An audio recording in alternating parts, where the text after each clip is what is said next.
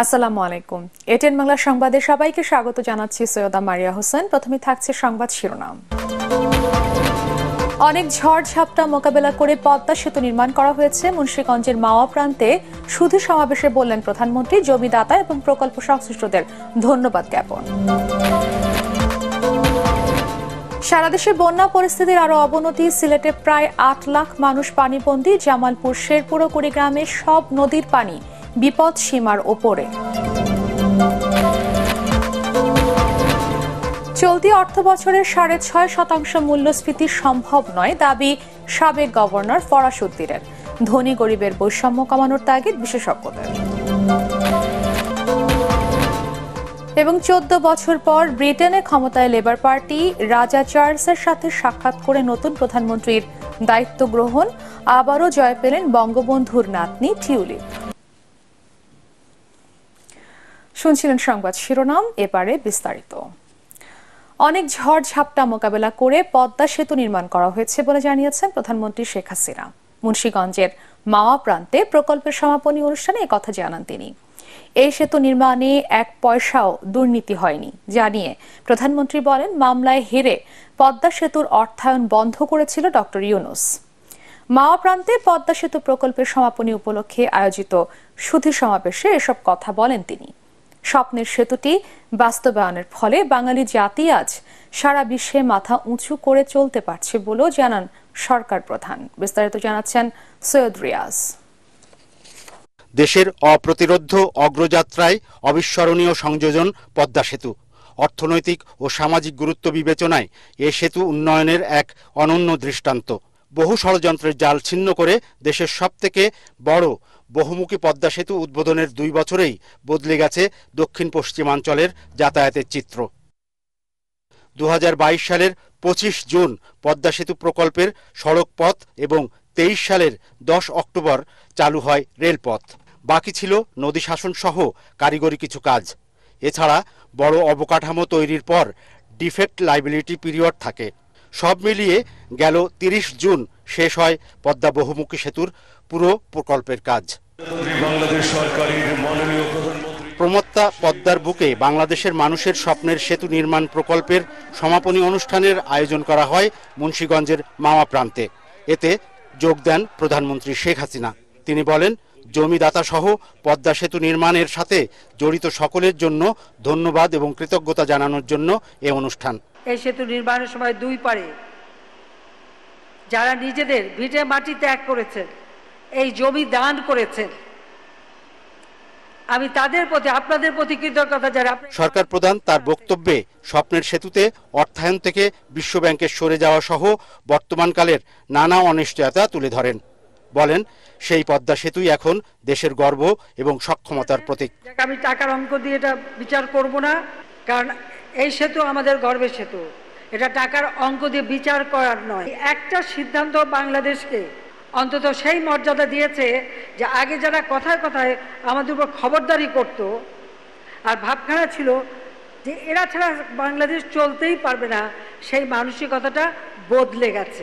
প্রধানমন্ত্রী বলেন সেতুটি বাস্তবায়নের লক্ষ্যে যখন অনেক দূর এগিয়ে নেওয়া হয় তখন স্বার্থান্বেষী একটি মহল এর পেছনে ষড়যন্ত্র শুরু করে। মামলা করল ওয়ার্ল্ড ব্যাংক কানাডা ফেডারেল কোর্টে সেই মামলায় রায় দিয়ে দিল যে এই পদ্মা সেতুর প্রকল্পের টাকায় এক পয়সাও দুর্নীতি হয় নাই। ওয়ার্ল্ড ব্যাংক যা বলেছে, সব ভুয়া, মিথ্যা, বানোয়াট। প্রাক সমীক্ষার পর দু হাজার এক সালের জুলাইয়ে তৎকালীন প্রধানমন্ত্রী শেখ হাসিনা এই প্রকল্পের ভিত্তিপ্রস্তর স্থাপন করেন।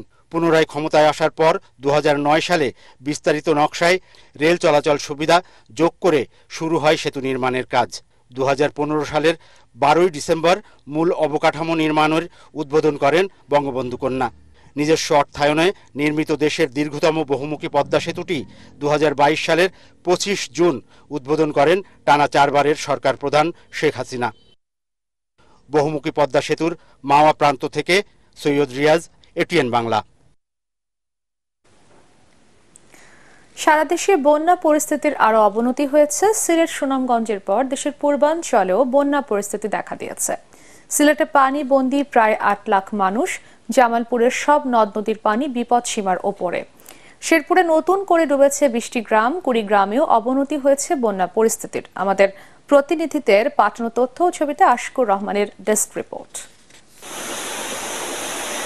গত চব্বিশ ঘন্টায় সুরমা ও কুশিয়ারা নদীর পানি সিলেট ছাড়া সবকটি পয়েন্টে বিপদসীমার উপর দিয়ে বইছে। জকিগঞ্জ, কানাইঘাট, কোম্পানিগঞ্জ, গোয়াইনঘাটা এবং কুশিয়ারা তীরবর্তী ফেঞ্জুগঞ্জ ও বালাগঞ্জ উপজেলার আট লাখেরও বেশি মানুষ পানিবন্দী। সুনামগঞ্জে ধনু নদীর পানি বিপদসীমা অতিক্রম করেছে। এতে যে কোনো সময় ডুবে যেতে পারে খালিয়াজুরি মদন ও মোহনগঞ্জ উপজেলা। জামালপুরের সব নদ নদীর পানি বৃদ্ধি অব্যাহত রয়েছে। যমুনার পানি বিপদসীমার উপর দিয়ে বয়ে যাওয়ায় ইসলামপুর, দেওয়ানগঞ্জ ও মাদারগঞ্জ উপজেলার আঠারোটি ইউনিয়ন এখন প্লাবিত। এসব এলাকার অন্তত পঞ্চাশ হাজার মানুষ পানিবন্দী। তলিয়ে গেছে কয়েক হাজার হেক্টর ফসলি জমি ও রাস্তাঘাট। শেরপুরের ঝিনাইগাতি উপজেলার আকস্মিক বন্যার উন্নতি হলেও সেখান থেকে নেমে আসা ঢলের পানিতে শেরপুর সদর উপজেলার গাজীর খামার ও নলিতাবাড়ি উপজেলার কলসপাড় ইউনিয়নের কমপক্ষে বিশটি গ্রাম নতুন করে ডুবেছে। এসব গ্রামের রোপা আমনের বীজতলা ও সবজি ক্ষেত তলিয়ে গেছে। ভেসে গেছে পুকুরের মাছ। কুড়িগ্রামে বন্যা পরিস্থিতির আরও অবনতি হয়েছে। ব্রহ্মপুত্র নদের চিলমারি, নুনখা ও হাতিয়া পয়েন্ট পানি বিপদসীমার উপর দিয়ে বইছে। প্রতিদিন ডুবছে নতুন নতুন এলাকা। অতিবৃষ্টিতে সিরাজগঞ্জে যমুনার পানি বৃদ্ধি অব্যাহত রয়েছে। নেত্রকোনায় বন্যা পরিস্থিতির উন্নতি হয়েছে। উবদাখালী নদীর পানি কমে বিপদসীমার সাঁত্রিশ সেন্টিমিটার উপর দিয়ে বয়ে যাচ্ছে। এতে দুর্ভোগে পড়েছে কমলাকান্দার মানুষ। Bureau report, ATN, Bangla. চলতি অর্থবছরে ছয় দশমিক পাঁচ শতাংশ মূল্যস্ফীতি সম্ভব নয় বলে দাবি করেছেন বাংলাদেশ ব্যাংকের সাবেক গভর্নর ডক্টর মোহাম্মদ ফরসুদ্দিন অভ্যন্তরীণ ও বৈদেশিক ঋণ কমানোর পরামর্শ দেন তিনি। অন্যদিকে debate for democracy chairman Hasan Ahmed Chowdhury Kiran বলেন জনবান্ধব বাজেট করে ধনী গরিবের বৈষম্য কমাতে হবে। রাজধানীতে ছায়া সংসদ বিতর্ক অনুষ্ঠানে তারা এসব কথা বলেন। আরও জানাচ্ছেন মুস্তাফিজুর রহমান। চলতি অর্থ বছরের বাজেট জনবান্ধব টেকসই ও উন্নয়ন সহায়ক হবে কিনা তা নিয়ে বিতার্কিকরা যুক্তি পাল্টা যুক্তি তুলে ধরেন এই ছায়া সংসদে। সরকারি দল বাজেটের নানা সম্ভাবনার কথা শোনালেও বিরোধী দল তুলে ধরে বিভিন্ন সমস্যা। সাদা কালো টাকা নিয়ে খুব কথা বললেন যে আমার দেশে দশ হাজার কোটি টাকা গতবার এসে সভাপতির বক্তব্যে debate for democracy chairman Hasan Ahmed Chowdhury Kiran বলেন সামাজিক সুরক্ষার পাশাপাশি জনবান্ধব বাজেট গড়ে তুলতে হবে। ধনী গরিবের বৈষম্য কমিয়ে আর্থিক খাতে শৃঙ্খলা ফেরানোর জোর দেন তিনি। যখন বিদ্যুৎ, পানি, গ্যাসের দাম বাড়ে, তখন কিন্তু আমাদের সাধারণ মানুষ বিপাকে পড়ে। আমাদের যে বাজেট ঘোষণা করেছে, সেই বাজেট বাস্তবায়নের জন্য যাতে ধনী দরিদ্রের বৈষম্যকে কমিয়ে নেই সামাজিকভাবে আমরা সকলের জন্য ন্যায্যতার ভিত্তিতে আমরা এই বাজেটকে আমরা ব্যবহার করতে পারি, সেদিকে কিন্তু আমাদেরকে নজর দিতে হবে। তা না হলে আজকের এই সামাজিক অস্থিরতা যে কোনো ক্ষেত্রে একটা বিস্ফোরণ ঘটিয়ে দেশের রাজনৈতিক, সামাজিক, অর্থনৈতিক এবং আমি মনে করি যে দেশের সরকারের নানা কর্ম পরিকল্পনার মধ্যে একটা বাধা সৃষ্টি করতে পারে। সুশাসন রাজনৈতিক সদিচ্ছা না থাকলে বাজেট বাস্তবায়ন সম্ভব নয় উল্লেখ করে দেশের উন্নয়ন অগ্রযাত্রায় সকলকে কর প্রদানের আহ্বান জানান ডিবেট ফর ডেমোক্রেসি চেয়ারম্যান। যতক্ষণ পর্যন্ত আমরা দুর্নীতি, অন্যায়, স্বচ্ছতা, জবাবদিহিতা এবং বিশেষ করে আমরা রাজনৈতিক সদিচ্ছা নিশ্চিত করতে না পারি, তাহলে কিন্তু বাজেট বাস্তবায়ন করা কঠিন হয়ে যাবে। নেপাল পাকিস্তান শ্রীলঙ্কার কথা ধরি তাহলে সেই সব দেশগুলির তুলনায় কিন্তু আমাদের কর দেবার দেশের পরিমাণ হার কম। আমাদের আশি পার্সেন্ট বিত্তমান কিন্তু কর প্রদান করে না। যাদের উপার্জন এক কোটি টাকার উপরে এরকম সাতাশ সিক্সটি সেভেন পার্সেন্ট মানুষ তারা কর দেয় না। এই যে কর দিবার প্রবণতা আমাদের মানুষের মধ্যে নাই সেটি কিন্তু আমাদেরকে সচেতন হতে হবে। এ সময় দেশের অর্থনীতির বেশ কিছু গুরুত্বপূর্ণ বিষয়ে আলোকপাত করেন অর্থনীতিবিদ ডক্টর ফরাসুদ্দিন। মূল্য স্বীকৃতি বলা হচ্ছে শতকরা নয় ভাগের বেশি। কিন্তু আসলে এটা শতকরা দশ ভাগের কাছাকাছি। ব্যাংকিং খাত থেকে যদি সরকার বাজেট ঘাটতি পূরণে ধার করে, তাহলে ওই টাকাটা বিনিয়োগকারী যারা, তারা পাবেন না। বৈদেশিক ঋণ থেকে আমি নেব বলে বাজেটে বলেছি।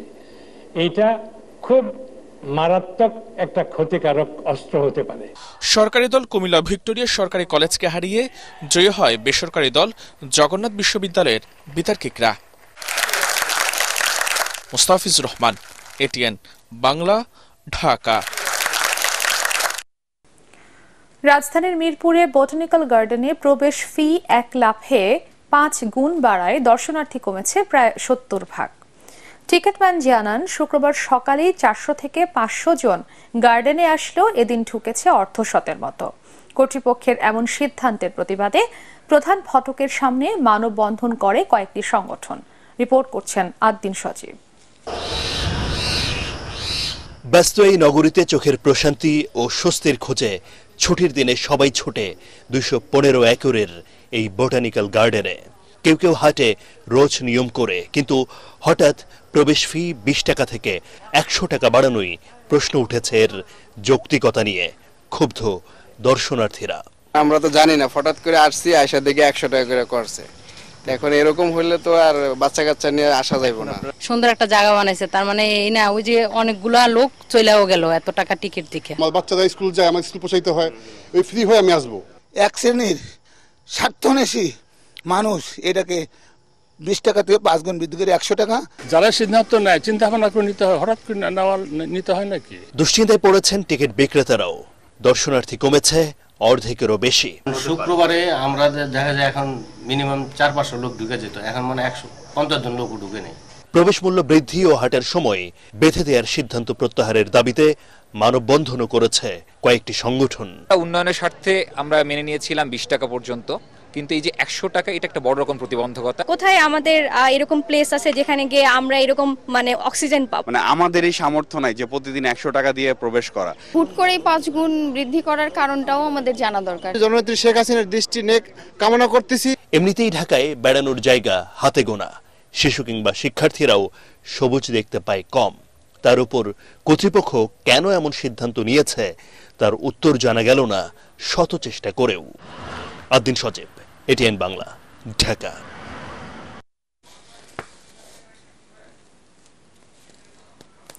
যুক্তরাজ্যের পার্লামেন্ট নির্বাচনে নিরঙ্কুশ জয় পেয়েছে লেবার পার্টি। এরই মধ্যে বাকিংহাম প্যালেসে লেবার পার্টি নেতা কিয়ার স্টারমারকে প্রধানমন্ত্রী হিসেবে নিয়োগ দিয়েছেন রাজা তৃতীয় চার্লস। ফলে টানা চোদ্দ বছর ব্রিটেনে শাসন করা কনজারভেটিভ পার্টিকে ছাড়তে হলো দেশ পরিচালনার দায়িত্ব। এদিকে টানা চতুর্থবারের মতো নির্বাচনে জয়ী হয়েছেন বঙ্গবন্ধুর নাতনি, টিউলিপ সিদ্দিকি। জিতেছেন বাংলাদেশি বংশোদ্ভূত আরও তিনজন, আরও জানাচ্ছেন জাহিদুল আলম। যুক্তরাজ্যে জাতীয় নির্বাচনে নিরঙ্কুশ জয় পাওয়া লেবার পার্টির নেতা কিয়ার স্টারমারকে প্রধানমন্ত্রী হিসেবে নিয়োগ দিয়েছেন ব্রিটেনের রাজা তৃতীয় চার্লস। শুক্রবার কিয়ার স্টারমার বাকিংহাম প্যালেসে রাজার সাথে দেখা করতে গেলে তিনি তাকে নতুন প্রধানমন্ত্রী হিসেবে নিয়োগ দেন। বাকিংহাম প্যালেসে রাজা তৃতীয় চার্লসের সাথে সাক্ষাতের পরপরই তিনি তার স্ত্রী ভিক্টোরিয়া স্টারমারকে সাথে নিয়ে যুক্তরাজ্যের নতুন প্রধানমন্ত্রী হিসেবে আসেন ডাউনিং স্ট্রিটে উচ্ছ্বসিত সমর্থকদের শুভেচ্ছা গ্রহণের পর জানান দায়িত্বভার গ্রহণের কথা I want to thank the outgoing Prime Minister Rishi Sunak.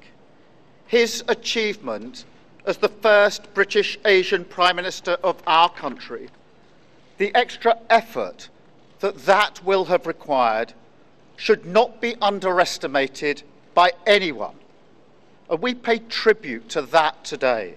And the service they receive from politicians grows this big. It leads to a weariness in the heart of a nation. এর আগে আনুষ্ঠানিক ফলাফলে house of কমন্সের ছশো পঞ্চাশ আসনের মধ্যে চারশোরও বেশি সিটে জয় পায় লেবার পার্টি পরাজয় মেনে নিয়ে লেবার পার্টিকে অভিনন্দন জানিয়েছেন Rishi Sunak The Labour Party has won this general election, and I have called Sir Keir Starmer to congratulate him on his victory. Today, power will change hands in a peaceful and orderly manner, with goodwill on all sides. নির্বাচনে বিভিন্ন দল থেকে অংশ নেন চৌত্রিশ জন বাংলাদেশি বংশোদ্ভূত British নাগরিক এতে টানা চতুর্থবারের মতো জয়ী হয়েছেন বঙ্গবন্ধুর নাতনি টিউলিপ সিদ্দিকী আরও কয়েকটি আসনে জিতেছেন রূপা হক রুশনারা আলী ও আফসানা বেগম। জাহিদুল আলম, এটিএন বাংলা। টানা কয়েকদিনের বৃষ্টির প্রভাব পড়েছে রাজধানীর কাঁচা বাজারে কাঁচামরিচের কেজি দুশো থেকে দুশো টাকা। করলা, বেগুন, বরবটি, গাজর, শশা সহ অনেক সবজির দাম ছাড়িয়েছে একশো। আবারও বাড়ছে পেঁয়াজ ও আলুর দাম। দেশি মুরগি ও গরুর মাংসের দামও বাড়তির দিকে। রাজধানীর বিভিন্ন বাজার ঘুরে আরও জানাচ্ছেন হুমায়ুন চিস্তি রাজধানীর বাজারে হঠাৎ করেই অতিরিক্ত দামে বিক্রি হচ্ছে সব ধরনের সবজি। বিক্রেতারা দাম বাড়ার কারণ হিসেবে বলছেন, টানা কয়েকদিনের বৃষ্টিতে সরবরাহ ঘাটতির কথা। তবে বাজারে সবজির কোনো কমতি নেই। সিলেট অঞ্চলে বন্যা কিন্তু অন্য অঞ্চলে তো আর বন্যা নাই। কিন্তু দেখা যাচ্ছে ওই একটা বিষয়কে পুঁজি করে কিন্তু জিনিসপত্র সব দাম বেড়ে গেছে। বেগুন একশো বিশ টাকা কেজি। শসা আছে আপনার একশো টাকা কেজি দেশিটা একশো বিশ টাকা হাইব্রিড আছে আশি টাকা আর ইয়া হলো আপনার সিম আছে চারশো টাকা কেজি। টমেটো দুশো টাকা কেজি আছে। বর্ষার অজুহাতে আবারও বাড়ছে কাঁচামরিচের ঝাল। বর্ষার কারণে পানি ওইটা মরিচ নষ্ট হয়ে গেছে। এই কারণে দাম বেশি। নাহলে এটা মরিচ থাকলে হলে একশো টাকা একশো বিশ টাকা কেজি। সরবরাহ ঘাটতির কারণ দেখিয়ে আবারও অস্থির পেঁয়াজের বাজার। দাম বাড়ছে আরেক নিত্যদিনের পণ্য আলুরও। পেঁয়াজ দেখলেন আমি নব্বই টাকা কিনছি পরের সপ্তাহে একশো আজকে কিনলাম একশো দশ। বাজার এখন আমাদের কাছে মধ্যবিত্তের কাছে একটা আতঙ্কিত সময় আর কি। এদিকে কোরবানি ঈদের আমেজ শেষ হওয়ার সাথে সাথে বেড়ে গেছে গরুর মাংসের দাম। ইয়া সাতশো আশি পাঁচ হাজার টাকা বেশি দিয়ে আমি কেন পাঁচ হাজার টাকা বেশি কম বেচতে পারব? আমার তো কিনা দামে বেচতে হবে। তবে কিছুটা কমেছে মুরগির দাম। ব্রয়লার হচ্ছে একশো পঁচাত্তর থেকে সত্তর আর সোনালি হচ্ছে দুশো নব্বই থেকে তিনশো আর দেশি হচ্ছে পাঁচশো ষাট থেকে পাঁচশো সত্তর। নিত্যপণ্যের দামের লাগাম টেনে ধরতে সরকারের কার্যকর উদ্যোগ নেওয়ার দাবি ক্রেতা বিক্রেতা সবার। হুমায়ুন চিস্তি এটিএন বাংলা ঢাকা।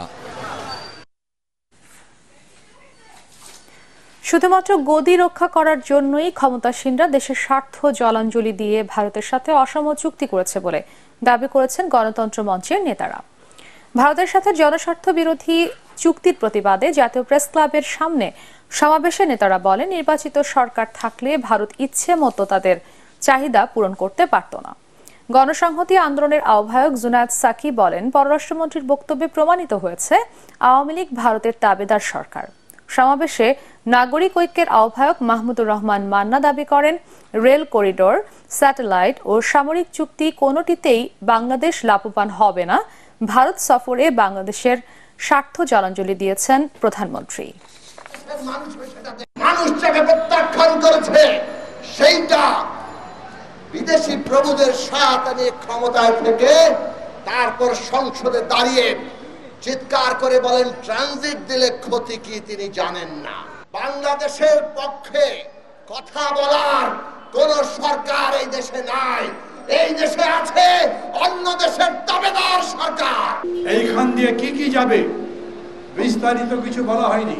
মনে করে আমরা সবাই বেকুব, আমরা কিছু বুঝি না, আমরা যেরকম বলতে চাই সেরকমই আমাদের বিশ্বাস করবে, কিন্তু আমরা মনে করছি কেন এই রকম করে একটা করিডোর দিলেন তার যুক্তি দেখার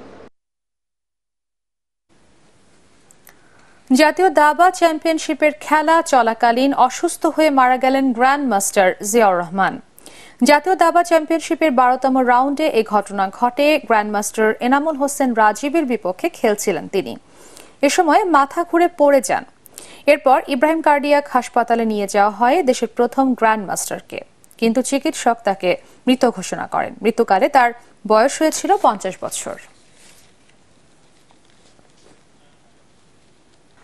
হংকং ইন্টারন্যাশনাল কনভেনশন অনুযায়ী জাহাজ পুনঃ প্রক্রিয়ার জন্য দু হাজার পঁচিশ সালের জুন মাসের মধ্যে সকল ইয়ার্ডকে কমপ্লায়েন্স ইয়ার্ডে পরিণত করতে হবে।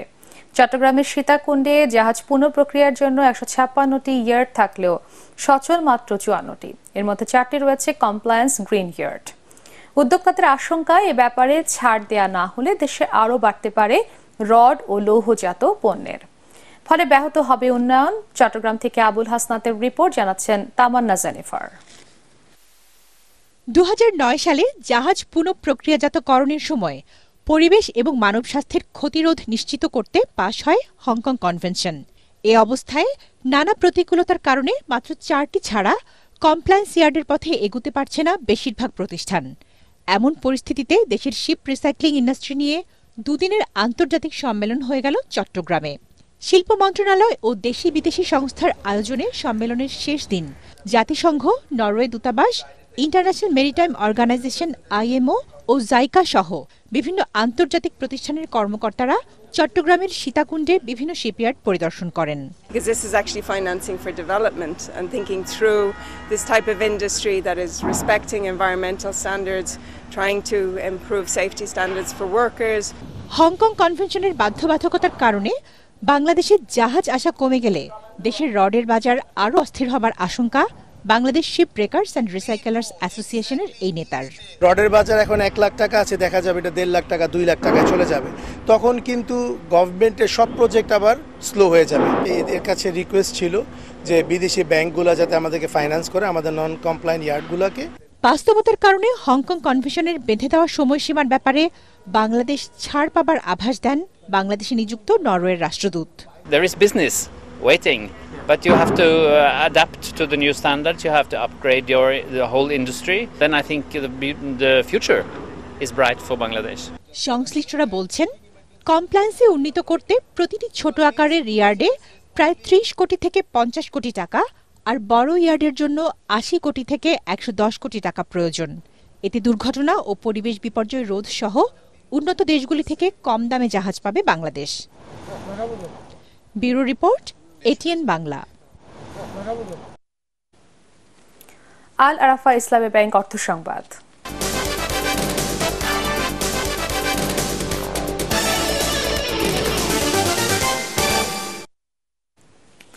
বাংলা ভাষা নিয়ে মেধাভিত্তিক TV reality show Ispahani Mirzapur Bangla বিদে বরিশাল থেকে সেরা পাঁচ প্রতিযোগী জায়গা করে নিয়েছেন মূল পর্বে।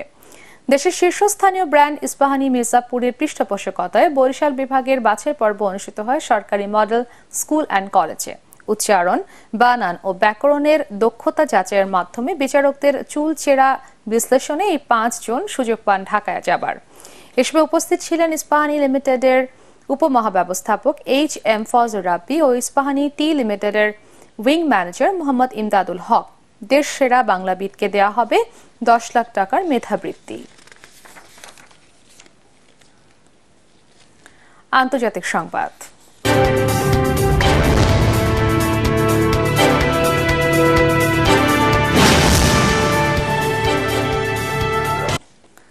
ইরানের চোদ্দতম প্রেসিডেন্ট নির্বাচনে দ্বিতীয় পর্বের ভোট গ্রহণ চলছে। ভোটে লড়ছেন সংস্কারপন্থী নেতা মাসুদ পেজেশকিয়ান ও কট্টরপন্থী সাইদ জলিডি এর আগে প্রথম ধাপের নির্বাচনে পেজেশকিয়ান পেয়েছিলেন সর্বোচ্চ এক কোটি চার লাখ ভোট। পঁচানব্বই লাখ ভোট পেয়ে দ্বিতীয় অবস্থানে ছিলেন কট্টরপন্থী জলিডি তবে কোনো প্রার্থী শতকরা পঞ্চাশ ভাগের বেশি ভোট না পাওয়ায় এই রান অফ বা দ্বিতীয় পর্বের নির্বাচন অনুষ্ঠিত হচ্ছে। এদিকে রান অফেও বেশ হাড্ডাহাড্ডি লড়াই হচ্ছে বলে জানিয়েছেন বিশ্লেষকরা। দেশের নির্বাচন কমিশন জানায়, নির্বাচনে যেন ইরানি প্রবাসী নাগরিকরাও অংশ নিতে পারেন, সেজন্য বিদেশেও ভোট কেন্দ্র স্থাপন করা হয়েছে।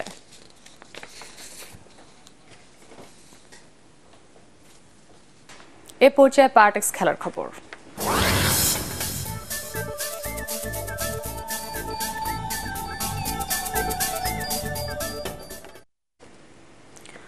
দু হাজার পঁচিশ সালের মধ্যে যুব দলকে বিশ্বের অন্যতম সেরা দল হিসেবে গড়ে তুলতে চান নাভিদ নওয়াজ। দ্বিতীয়বারের মতো অনূর্ধ্ব উনিশ দলের দায়িত্ব নিয়ে বললেন শ্রীলঙ্কান এই কোচ। এর আগে তারও দিনে দু হাজার বিশ যুব বিশ্বকাপ জেতে টাইগার জুবারা। বিসিবির একাডেমিতে নতুন ক্রিকেটার তৈরির কাজ শুরু করেছেন তিনি। প্রাথমিকভাবে উনচল্লিশ ক্রিকেটার যোগ দিয়েছেন তার ক্যাম্পে। এসময় নওয়াজ বলেন, এদেশে অনেক প্রতিভাবান ক্রিকেটার আছে, তাদের যত্ন করাটাই গুরুত্বপূর্ণ কাজ। আমরা বিশ্বকাপ জিতবো এটা বলা ঠিক নয়। এখানে আসল কাজ হলো দলটাকে গড়ে তোলা। আমরা জানি বিশ্বকাপে লড়তে হলে কি কি উন্নতি দরকার। বড় দলকে চ্যালেঞ্জ জানানোর মতো সব ধরনের গুণ আমরা অর্জন করতে চাই। বাংলাদেশের বিপক্ষে টেস্ট সিরিজ সহ দু হাজার চব্বিশ পঁচিশ মৌসুমে আন্তর্জাতিক সূচি ঘোষণা করেছে পাকিস্তান ক্রিকেট বোর্ড। এ সময় পাকিস্তান খেলবে মোট তিনটি টেস্ট সিরিজ। আগামী একুশ আগস্ট রাওয়ালপিন্ডিতে শুরু হবে বাংলাদেশ ও পাকিস্তানের প্রথম টেস্ট। করাচিতে দ্বিতীয় টেস্ট শুরু হবে ত্রিশে আগস্ট। দু সালের সর্বশেষ টেস্ট খেলতে পাকিস্তানে গিয়েছিল বাংলাদেশ। পাকিস্তানের বিপক্ষে এখন পর্যন্ত তেরোটি টেস্ট খেলেও কোনো জয় পায়নি টাইগাররা। একমাত্র ড্র টেস্টটি আসে দু হাজার পনেরো সালে খুলনায়। দু হাজার একুশ সালের পর থেকে এই সংস্করণে মুখোমুখি হয়নি দুই দল।